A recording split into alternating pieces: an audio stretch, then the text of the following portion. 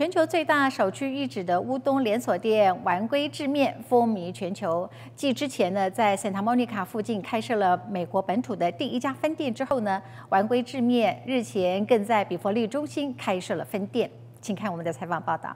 在比弗利中心剪彩开业之后，丸龟制面正式登陆了南加州的最旺地段，同时也为当地带来最正宗的日本乌冬，引领美国的乌冬文化。We make everything from scratch, and we using the fine ingredient, and some of them is import from Japan. I want to have the, the udon as a culture.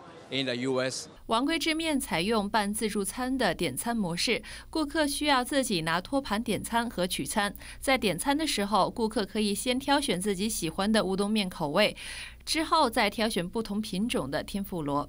王贵制面表示，餐厅除了为顾客带来最美味的乌冬之外，顾客在店里的用餐经历也是非常重要。We always focus on quality and cleanliness. and it, it's a must for all of our restaurants. And we train our staff extensively so that they, they can meet these quality standards at every location. 在比弗利中心开设美国本土的第三家分店之后，王贵制面计划在今年内分别在洛杉矶、格兰戴和三藩市等地开设分店。